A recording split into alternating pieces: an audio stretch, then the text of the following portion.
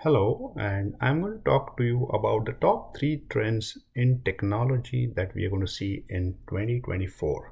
So, the first trend that I see is more adaptability. More clients are now able to reach out to SaaS providers, to cloud solutions provider, not just from a technology angle, but also from a business function angle. So that's one trend that is going to continue in 2024 as well.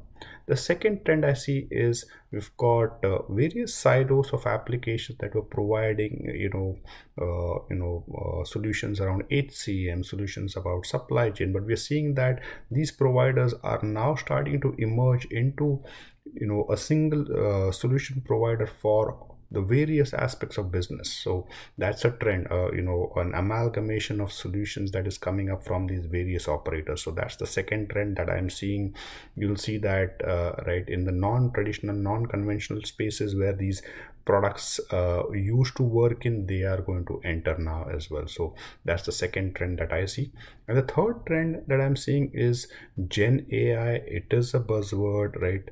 You know products are looking at incorporating gen ai but what are the use cases? So evolution of these use cases as each product looks at what it offers and where is it the generative portion of ai that it can help? So these are the top three trends that i see in 2024 i would be interested in knowing uh, how you look at it as well. Thank you